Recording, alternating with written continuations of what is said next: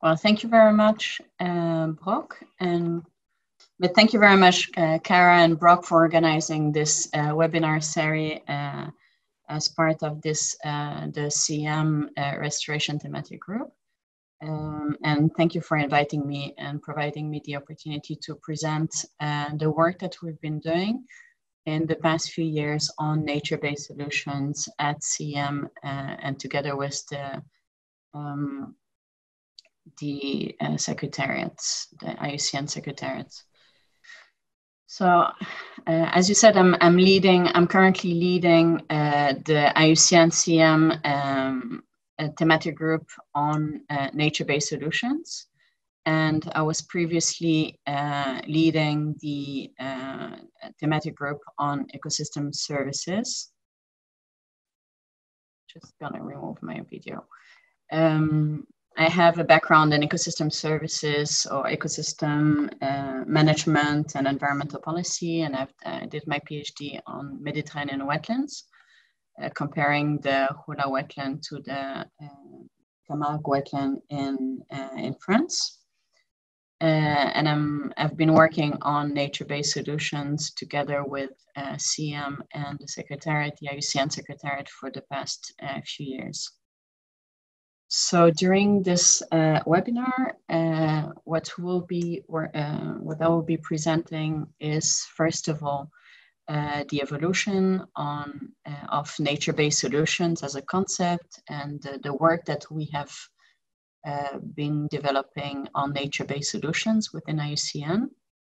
Then I'll present specifically the IUCN's conceptual and definitional frameworks uh, for nature-based solutions. So how we define and how uh, we understand uh, uh nature-based solutions. Uh, I'll talk about the principles for nature-based solutions that uh, IUCN has developed. I will present very briefly some examples of nature-based solutions. I will then um, touch very briefly on the global standard for nature-based solutions that were launched at the end of uh, July. And then we'll finish with some questions and answers. So just in case we don't have time uh, at the end of the, the presentation, please feel free to reach out to me later on with, uh, with emails. I'll present, uh, provide my email address at the very end. So with regards to the evolution of nature-based solutions, both as a concept or the, the work that has uh, evolved over uh, the, the, the, past few years. Um, well, since the first use of the term uh, that was officially in, in, in 2002 in a publication, there have been some meaningful events that uh, focus specifically on nature-based solutions. For instance, uh, one meaningful one was uh, a workshop by Diversa, by workshop in which the concept of nature-based solutions was um, discussed and was the source of the Eggermont um, paper, a scientific paper on nature-based solutions. Then there were some international events. I'm just providing here just some examples because there is uh, a huge amount of information now that is uh, provided on nature-based solutions. So in 2017, for instance, there was an international conference on nature-based solutions specifically in Tallinn, Estonia. There in, in 2019, there was um, an event on nature-based solutions um, in the Mediterranean uh, Sea Basin that took place in Marseille in France. In 2020, just in July, there was the NBS Digital dialogue that was organized by the national by the nature-based solutions initiatives. There are several events also that took place in southeast asia and in, in south america um, colombia and peru and so forth. Then there are some online platforms or initiatives that were established and they're specifically focusing on nature-based solutions for instance, uh, the Oppla platform or the Think Nature platform, which also had a series of uh, webinars on nature-based solutions that you may look into. Um, and the establishment of the nature-based solutions initiative at uh, Oxford University, for instance.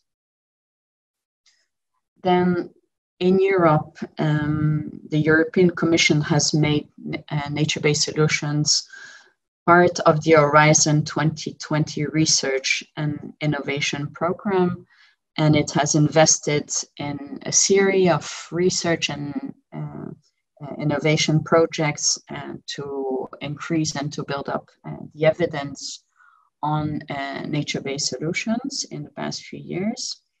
That has, of course, increased the number of research um, projects uh, and paper publication coming from that region of the world. Then, with regards to nature-based solutions in, in national or in international policy, um, you may be aware of the global biodiversity outlook. For instance, these are just really some example, very recent examples. But the global biodiversity outlook that was just published last week uh, by the uh, UN Convention on Biological Diversity mentioned several times nature-based solution that could provide um, about a third of the total net emission reduction uh, that is required to keep the climate change close to um, 1.5 degrees Celsius.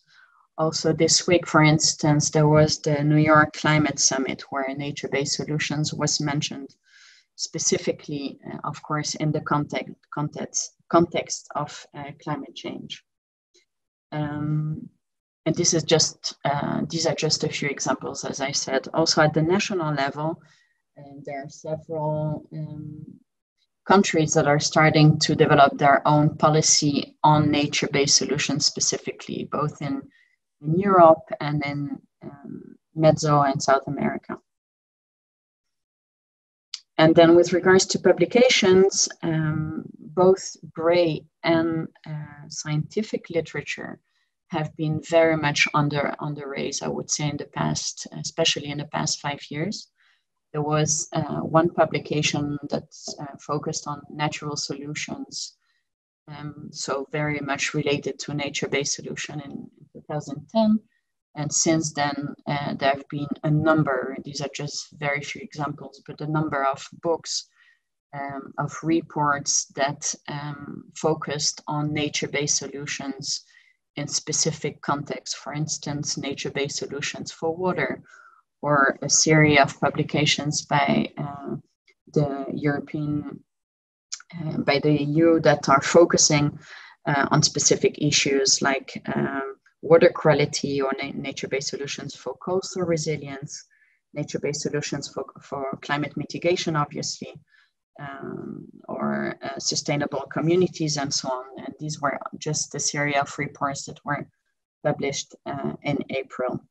And of course, uh, in as I wrote here, uh, there is a, I would say, an exponential rise of uh, papers and scientific literature um, that is specifically focusing on nature-based solutions in the past uh, three, four, five years. So today, what I'm, I'm going to focus on is really the work that we have been developing at IUCN, so uh, within the Commission on Ecosystem Management, together with, as I said, the secretariats uh, of IUCN, specifically on nature-based solutions. So in at the WCC, so at the World Conservation Congress of 2020, uh, after the after the Congress actually, the nature-based solution then became uh, officially one third of the IUCN global program um, and from, from that point on, uh, IUCN has been developing um, a definition and working on the conceptual framework for nature-based solutions to better understand and to frame what nature-based solutions are. At the next uh, WCC, World Conservation Congress in 2016, there was the release of a publication on nature-based solutions to address global societal challenges, which I will describe later on. Um, and uh, there was a resolution that was adopted by the IUCN community to define what nature-based solutions really are. uh, in addition to the, the definition, there was a list of eight, eight principles that IUCN has adopted, and the work on the nature-based solution principles has been further developed um, by CEM and was the basis for the operational framework that is currently um, uh, in development, I would say, uh, at very advanced stages of the uh, development with the global standard for nature-based solutions. So with the publication, I will go very briefly into this at the end, uh, with the current uh, publication of both the global standard for nature-based solutions and the guidance for using that global standard on nature-based solutions. That was supposed to be launched at the last uh, WCC in 2020, and obviously that was um, that had to be postponed, and it was launched uh, at the end of uh, July online. So to go back to what we did in 2016, as I said at the, the World Conservation Congress, there was a res resolution that uh, focused um, specifically on defining what nature-based solutions are. And the IUCN definitions for nature-based solutions are actions to protect, to manage, and to restore natural or modified ecosystems, which address societal challenges effectively and adaptively, providing human well-being and biodiversity benefits. And by the main societal challenges that IUCN has um, um, identified, I would say, or targeted for uh, nature-based solutions, we mean climate change, natural disaster, social and economic development and the creation of jobs, human health, food security, water security, and the last challenge that we've added this year was ecosystem degradation and biodiversity loss.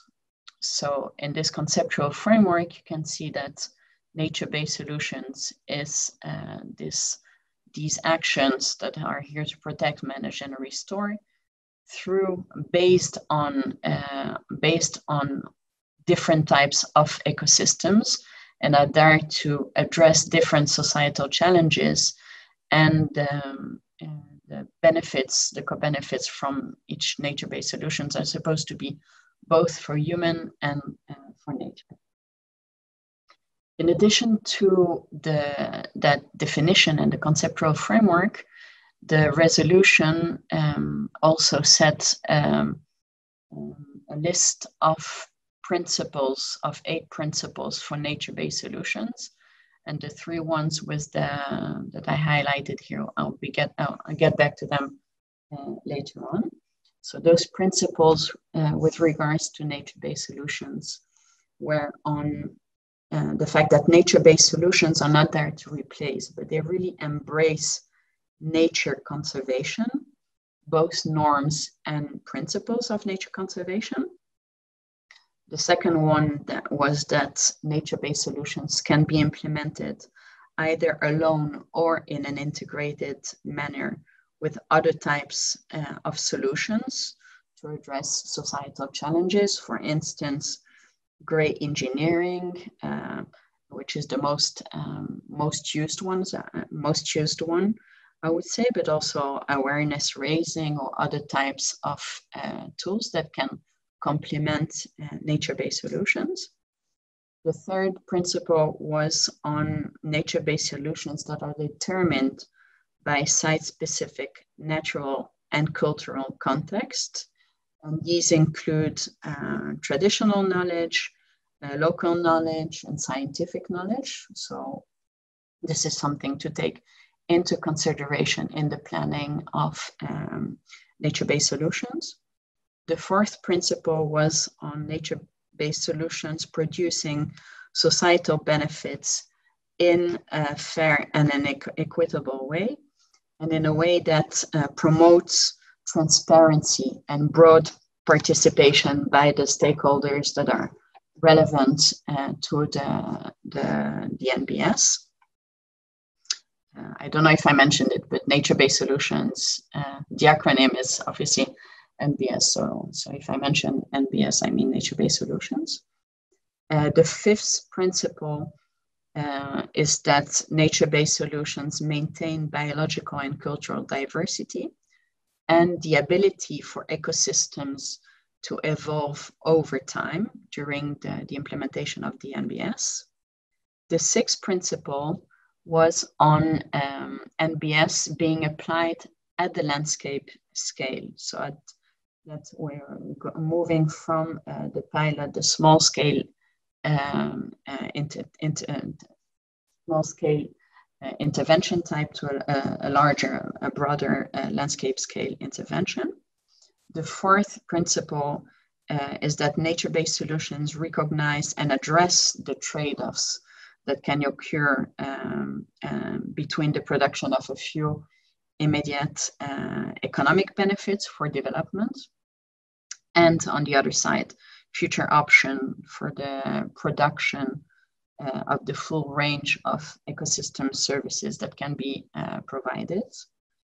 Um, and the last principle was on uh, nature being uh, nature-based solutions being uh, integral part of the overall designs uh, of policies, of measures, and action to address one or specific societal challenges so it's really important to integrate uh, nature-based solutions in policy, in actions, uh, and in different measure in order to be able to uh, have a, a larger, a, a, broader impact to upscale and outscale the, the nature-based solutions and the benefits of the nature-based solutions.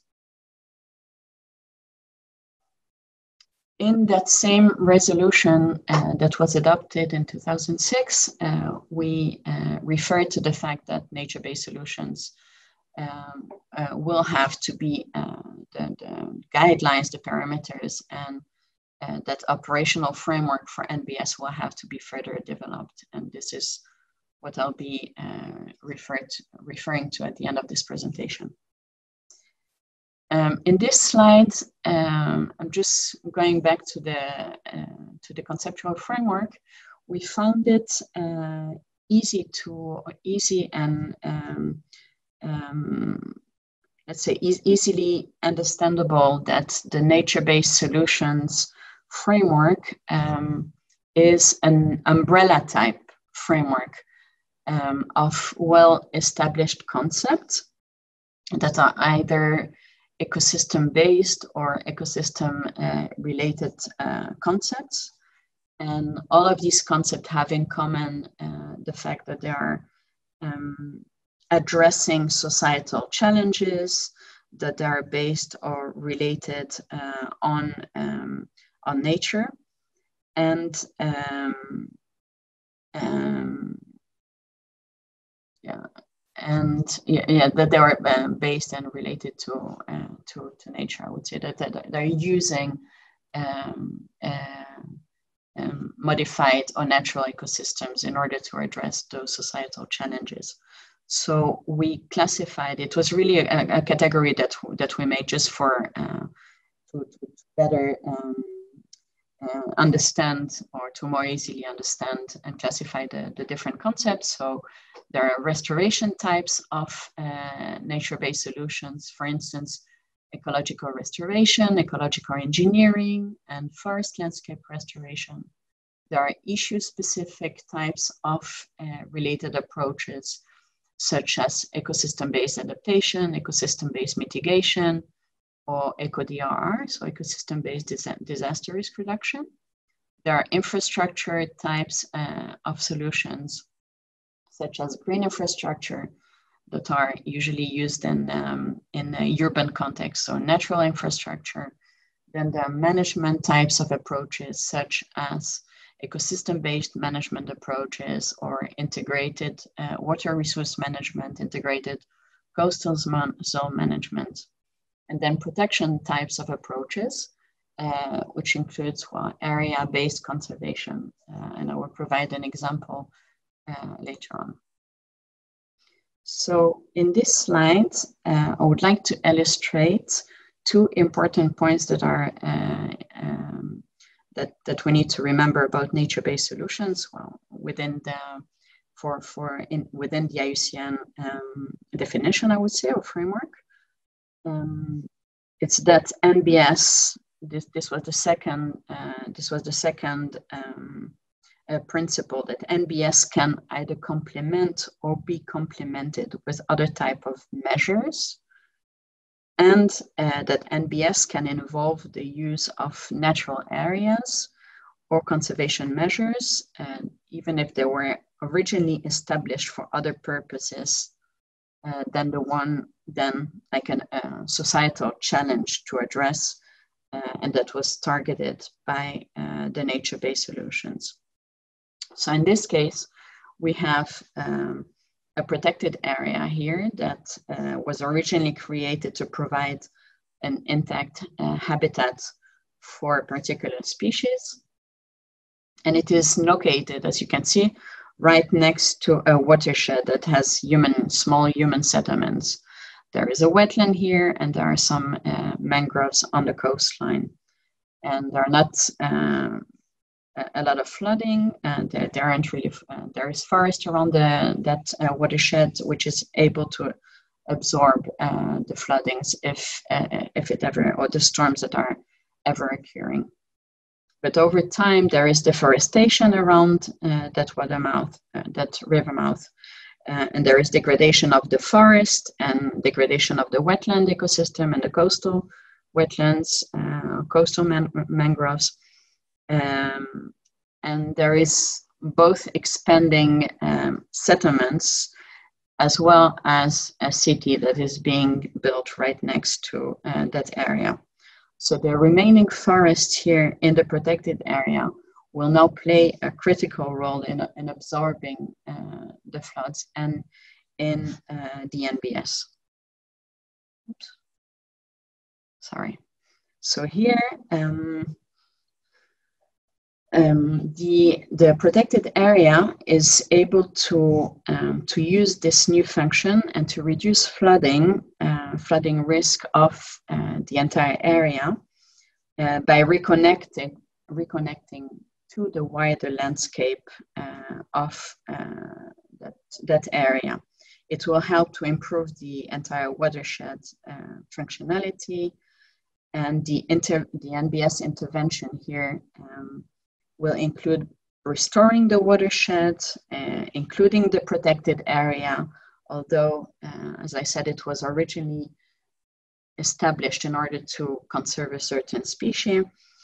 Um, and it is done in combination with other types of intervention. So there is mangrove uh, replanting on the coastline, there is wet, wetland restoration, and there are also conventional measures, such as the construction here of a, a concrete uh, barrier and a wall. And these, and there is also in the urban area, for instance, there can be a green infrastructure, green infrastructure uh, practices that, that can be uh, implemented as well. And these solutions can support local livelihoods and biodiversity in the, the 2016 uh, publication that uh, IUCN and CEM uh, um, launched, there is, uh, you will find in, in more detail the whole framework of NBS, conceptual definitional framework, and the link to different principles as the first uh, part. And then the second part of the publication is um, show, showcasing 10 different case studies um, that we, we identified as successful case studies of nature-based solutions that are implementing one or several types of uh, nature-based solutions in completely different contexts. Um, so for instance, uh, in different regions in North America, South America, in Africa, in the Middle East, in Europe, or in, uh, in East Asia to address different types of societal challenges. So, for instance, human health and um, and climate change in this um, NBS that is in a urban context uh, in Spain, or for instance, uh, uh, coastal uh, and mangrove uh, far, uh, forest um, that is um, um, that is um, in which ecological restoration, forest landscape restoration, and ecosystem-based management are used as NBS to address climate change, food security, and economic and social development. So anyway, you can, if if you're interested, you can look at those different uh, types of ecosystem of nature-based solutions and how they are combined to address different types of uh, societal challenges. So just very briefly, I'm uh, um, showing you here uh, two of these um, case studies. One is in Barcelona. It is on developing green infrastructure in a, a urban environment. Uh, and this is using some tools such as green walls and roof basins uh, to improve air quality and to support wastewater treatment, to reduce stormwater runoff and water pollution, and also to improve the life of uh, the quality of life for residents. And in this case, for instance, beside uh, the green infrastructure tools that are used within the urban context, there is also um, some some uh, awareness raising tools that are used with this this type of BioBlitz uh, events uh, with the local community, or there are community gardens that are being um, used and established uh, around uh, Barcelona. And these are, as I said, to address climate change and human health, for instance.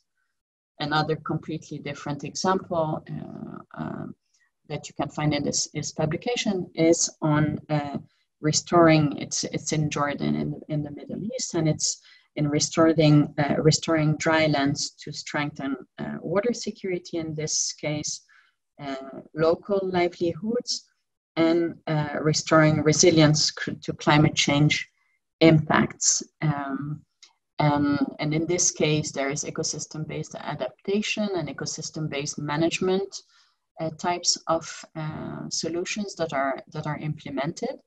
And here we can see, for instance, um, some traditional um, uh, ways of planting native um, vegetation as part of uh, this nature-based solutions and involving the local community in the implementation of the nature-based solutions.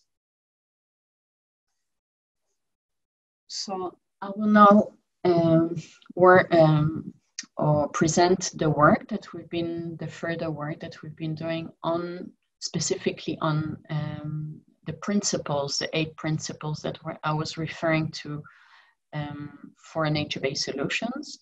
So what we did with a large team of, of people within CEM and, and IUCN was um, to look into the the principles, the eight principles for nature-based solutions. And we reviewed the um, a large type, a large uh, list of uh, similar approaches. So, ecosystem-based or ecosystem-related approaches that um, had also principles uh, that were published and, and in use, and then compare those principles to understand if nature-based solutions could really serve as an umbrella type uh, of, of framework and also uh, how or what principle was different uh, and stood out uh, in relation to the principles in the other um, the other framework. So in this case, what after the, the revision of the different because uh, the, the, the, other concept, uh, we identified principles in uh, ecological for, for ecological restoration, for uh, forest landscape restoration, for ecosystem-based adaptation, and for area-based conservation, as well as the principles um, that were published for uh, ecosystem for the ecosystem approach. Uh, and I didn't mention that the ecosystem approach is very much um, the basis, I would say, the foundation for a lot of uh, our work on, on the nature-based solutions um, concept.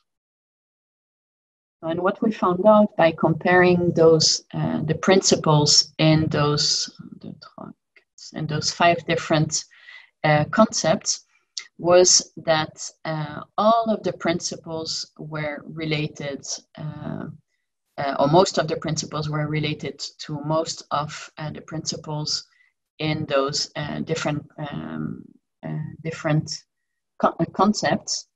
But there were three that really stood out um, in the um, NBS principle. The first one is the, the principle on complementarity, the one that I mentioned earlier, how uh, important it is to, um, to include, if it's possible, um, synergies and to have nature-based solutions being complemented or complementary to different types of solutions like the ones that I was uh, illustrating um, earlier with the protected area and the, the wall that was built to help um, restore that, uh, that watershed. The second principle that, that really uh, stood out was the, the, the, the, principle number six on landscape scale. Uh, so the need to, um, to have uh, nature-based solutions um, intervention that would be at least designed uh, keeping in mind the broader scale and um, trying to have nature-based solutions uh, implemented at the landscape scale. Um, and then the last one was uh, the last principle, um, principle number eight on policy integration. So the, the, the importance of integrating the nature-based solutions uh, with policies, with measures, with actions, and involve these types of uh, sectors and of stakeholders in order to um, ensure that the nature-based solutions would be with a broader effect, I would say, to um, effectively address the societal challenge or challenges that are targeted. And what we also found out when we did that study is that there, there were some specific terms uh, that were missing or that were not sufficient, that we found that were not sufficiently emphasized in the NBS principles. And these were adaptive management and adaptive governance, the effectiveness of nature-based solutions, the uncertainties that are linked to an NBS uh, intervention implementation, the fact that we need uh, multi-stakeholder participation, and the temporal scale and the long-term stability. And these points together with um, the linkages and the um, linkages and the, the importance of, um, of the principles were important to, to identify at this stage because the, the work that uh, we did on the principle and on the definitional framework for nature-based solutions served as the basis for developing the operational framework of um, the IUCN nature-based solutions. So the global standard, uh, global standard for nature-based solutions. And you, as you can see here uh, very briefly, we, we made sure that each of the principle uh, and, and the, the, the, different issues that were not sufficiently underlined uh, or mentioned in the principle were properly mentioned in the global standard in one of the eight criterias, criteria of the global standard for nature-based solutions. So I won't describe the global standard for nature-based solution now because we'll have a separate event um, that will be specifically focusing on presenting the global standard in about a month from now for, for the CEM, CEM uh, members. But what I would say is just that the, there uh, I would say three documents. There is the IUCN Global Standard for Nature-Based Solution doc document that has been already launched uh, at the end of July, and you're welcome to look into the um, into the and into the IUCN website and to see the the, the launch uh, event. There is also the guidance for using um, the IUCN Global Standard for Nature-Based Solutions. So the, the global standard for nature-based solutions document is uh, much more uh, concise, I would say, and is really presenting the different criteria and the indicators for each of those uh, criteria. And the guidance is providing more of a background on what nature-based solutions are, why we need a global standard for nature-based solutions, what type of uh, audience um, could use and sectors could use the, the global standard for nature-based solutions, how, um, what we mean really by each of the criteria and the indicators. Um, and, and then the last part is the self-assessment. Uh, this hasn't been launched uh, as of yet. It will be launched, I think, in, in a few months from now. Um, but I will I will provide you with um, the link to the um, the draft self assessment if you're interested in um, assessing one of uh, one of the intervention that you're working on. Um, so we'll talk about this very briefly later on. So just to give you uh, a very general overview of uh, what the standard, the global standard for nature-based solutions uh, look like. There are eight criteria and there are 20, 28 indicators, I believe. I may have uh, made a mistake here, but I think it may be 20, 28 indicators. Um, and those eight criteria are um, focusing the first first criteria is focusing on the need for nature-based solutions to address one of several societal challenges, the need to have um, an N- NBS uh, planned, as I said, designed at least, and implemented at scale, so taking into account the broader, uh, the broader landscape. The need for an NBS to provide biodiversity net gain, uh, net gain. Um, the need for an NBS uh, to be economically uh, feasible the need for uh, the implementation of the um, nature-based solutions to be inclusive and to have um, uh, in, uh, inclusive uh, governance. And the needs need for uh, balancing trade-offs uh, within the implementation of, of an NBS the need for um, adapt adaptive management within the, the course of the implementation of, of NBS. And the last one is on mainstreaming and sustainability, as I said, like the integration of a nature-based solution within policy, for instance, mainstream, mainstreaming in different sectors and with different types of stakeholders. I just want to show you here uh, very briefly the governance structure. It is, uh, um, as I said, that the global standard was just launched uh, a month ago, over a bit over a, a month ago. Uh, so it is a, a, work in progress, and we're we're finalizing the the governance structure of the global the NBS global standard. But I wanted to to show you this uh, this graphic um, the governance structure will have four affiliated bodies the International Standard Committee, that will be in charge of the oversight and the safeguarding uh, of the global standard, and it will be in charge of the revision of the standard. The um, second body will be the, the Science uh, and the Knowledge Committee, in which uh, CEM will have uh, um, a role also. Um, and this will be in charge of uh, the scientific oversight of the standard, of defining and exploring research priorities, and developing evidence base for this for future standard uh, revisions. Then, at the national and the regional um, level, there are the national and regional hubs that will be uh, developing technical expertise that will be uh, developing also capacity, capacity building to uh, help implement uh, nature-based solution, the nature-based solution global standard, and they will be um, help, they will help to adapt the standard to the local or the regional context.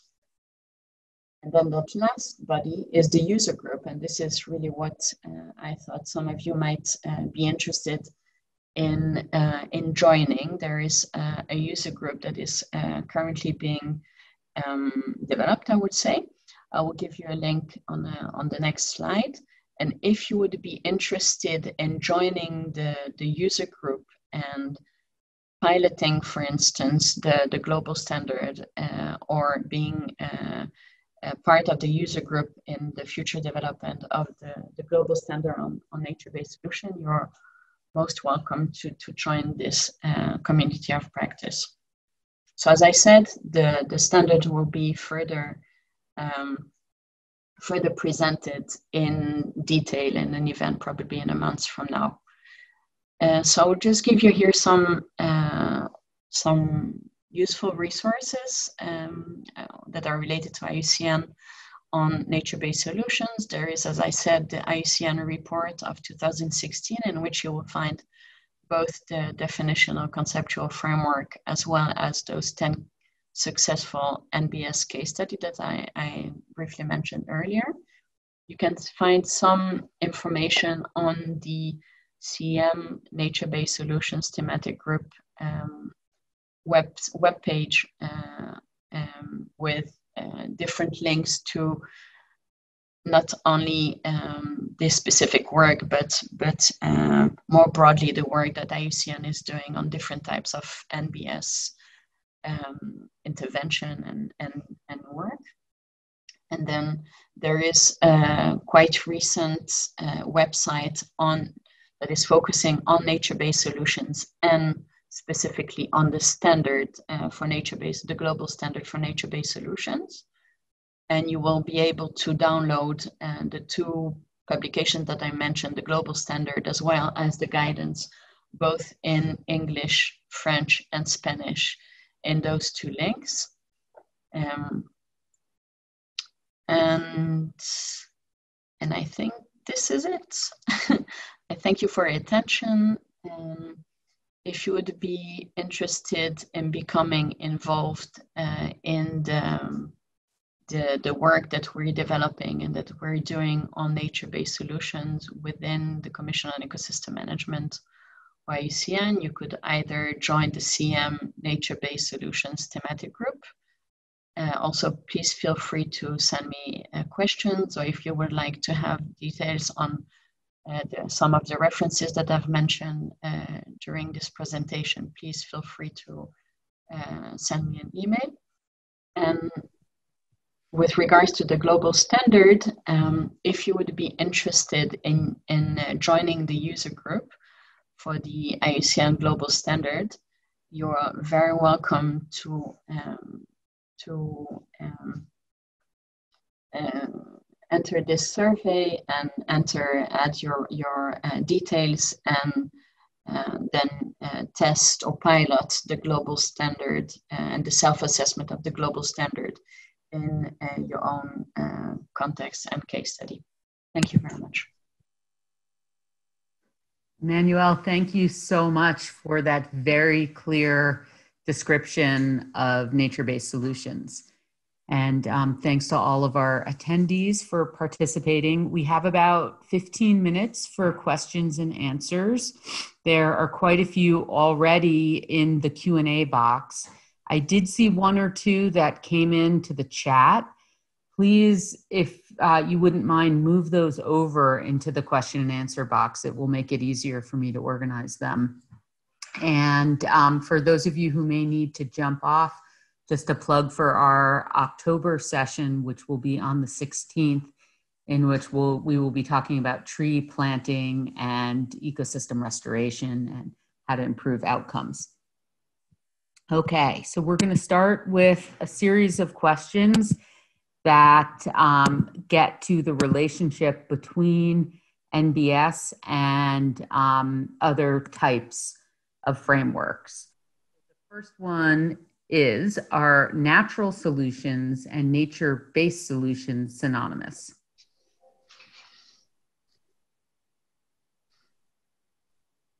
Can you hear me? Yes. I'm not sure on what screen I am right now. Okay. Um, so natural solutions and nature-based solutions are very similar, as I mentioned, uh, but they're not exactly the same because natural solutions, um, in in my view, uh, natural solutions are referring more strictly to um, uh, the protect uh, the, the role of um, um, the role of protected areas um, to address uh, certain societal challenges, but uh, they're, they're mainly on, uh, I believe, uh, for conservation purposes. And nature based solutions, as I mentioned, do uh, embrace um, conservation norms and measures, but um, I believe that nature based solutions are complementary to conservation norms. So, uh, um, natural solutions are part of uh, natural uh, of nature-based solutions, but in a very specific context of uh, protected areas or area-based uh, conservation. Great, um, thank you. There was another question about nature's contributions to people, NCPs, and the relationship with the NBS.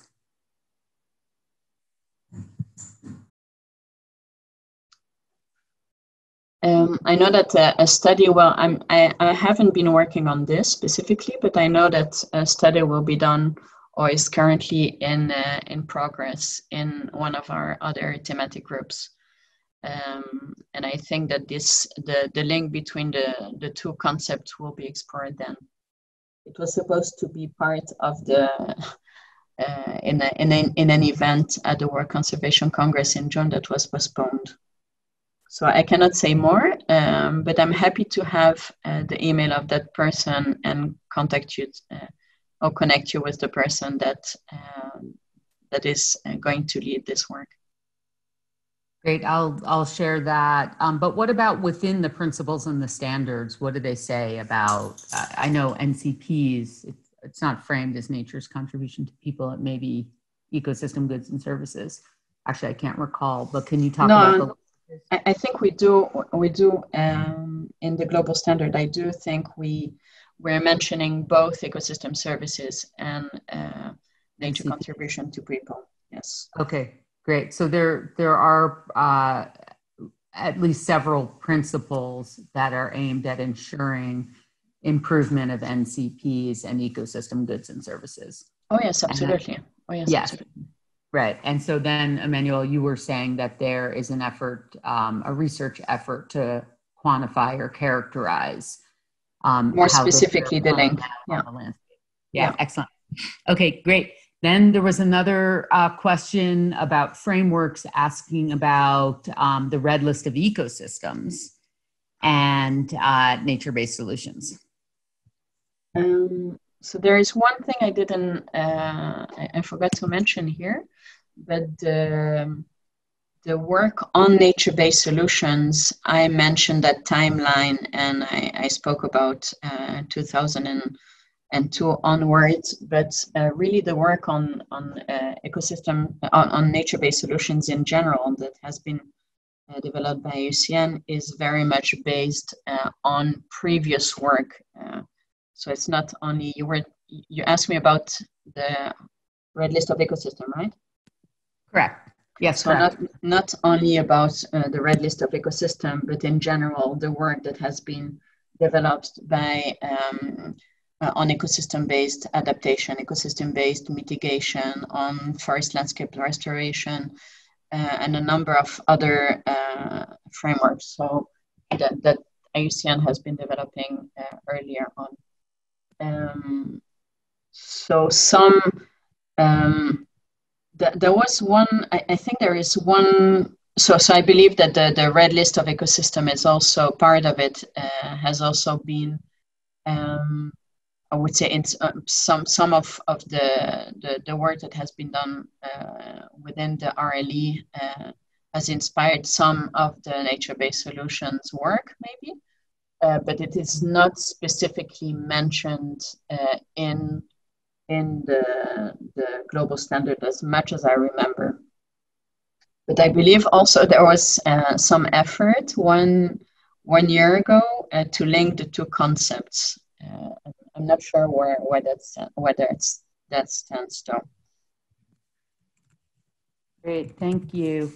Um, so there were a couple of questions related to using the NBS and verifying. I'm going to read both of them to you. They're different questions. Um, I'll read the second one again after, but just to prime you. Um, the first is Can you explain what kind of verification process will be associated with the standard? And then, secondly, can you clarify how the standard is meant to be used? Is this for ensuring NBS projects are implemented appropriately and effectively? And is there any link between the standard and country commitments to the uh, United Nations Convention on Biological Diversity or the Climate uh, Change Convention or other conventions? Talking about the standard specifically, right? Correct. Yeah, so I've been asked not to not to answer any question at the moment regarding the global standard because we will be presenting this more in detail with a panel of uh, different different speakers that have been uh, working on the the criteria and on the standard.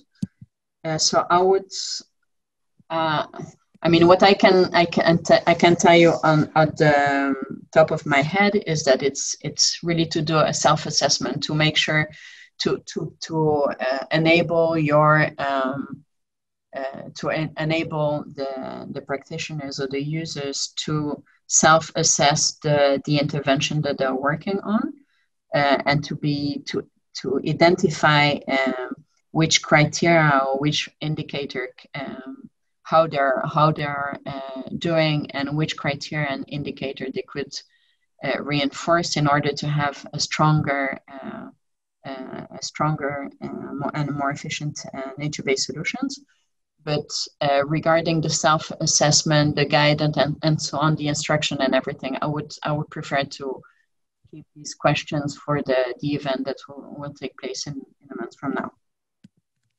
Okay, great. Thanks for that reminder, Emmanuelle, uh, that of this next event, specifically on the standard. Um, we have a question that came in. Was there a systematic comparison done between the NBS definition by IUCN and the NBS definition by the European Commission? If not, it might be very interesting to check out the differences. I have the impression that the European Union Commission, that sorry, the European Commission focuses more on the urban scale, whereas IUCN focuses more on other landscapes beyond the urban and emphasizes the landscape scale. Right. So we did touch uh, on on the differences between the two definitions. So the IUCN definition and the European Commission uh, definition uh, in both uh, in two of the publications that I mentioned here. So the 2016 and the paper that we issued in 2019. But we haven't done like a specific study that is, um, what did you say, systematically comparing the two definitions and i i support this. I would i would be really interested actually to work on on this. Um, in very very broadly i would say that uh, some differences are that uh, the IUCN definition for nature-based solutions um, are uh, adaptable or they, they, they will be uh, used they, they're supposed to be used in a, broad range of, uh, of context, as I, as I showed in the, the list of case studies, that this is exactly what we were trying to, to show with the, that uh, diversity of case studies, whether it's uh, geographical context or ecosystem, or ecosystem type context, or the type of uh, societal challenge that is supposed to be addressed, and uh, the, the, the tools or the different types of NBS that can be used uh, um, to address those societal challenges.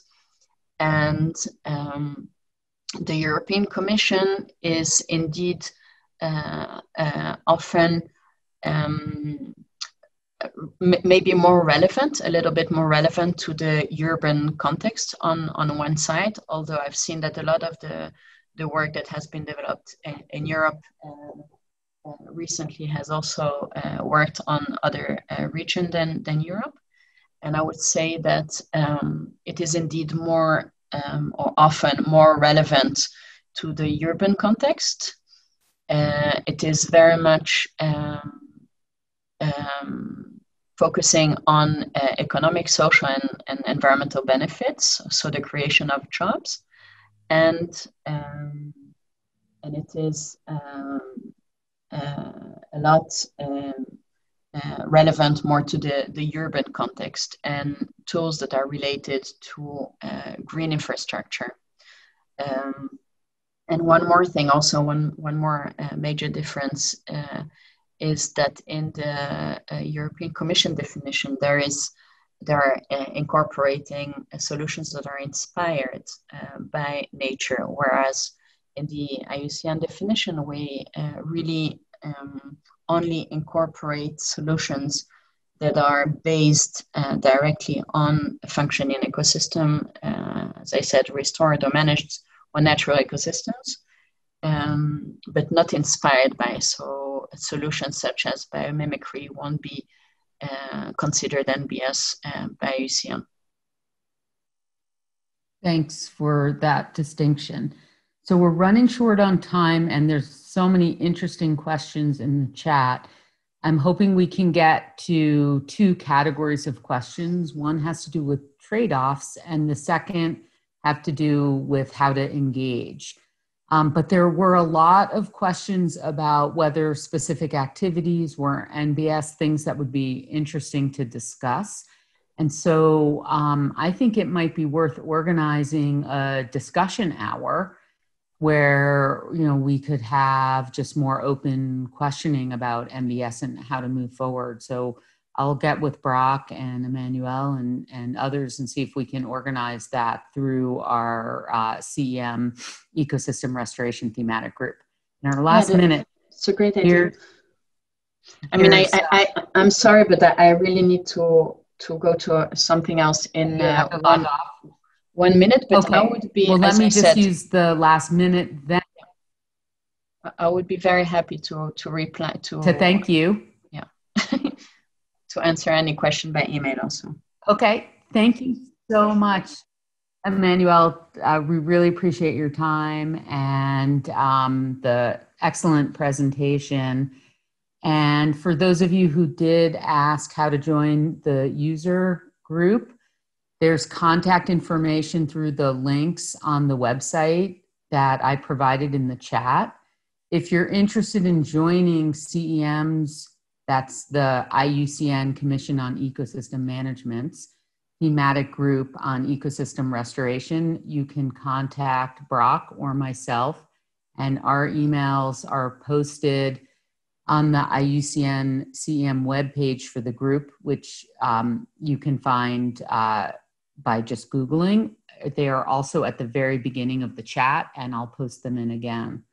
So appreciate all of you participating. Um, you can see on the screen here our next session on October 16th, and we hope we'll see you next month for discussing improving outcome planting. Thanks, everyone, and especially you, Emmanuelle. My pleasure. Have a nice day. Oh, good Thank night. you very much. Thank you very much, Emmanuelle. Hope you have a nice day. Thank you, everybody, for joining.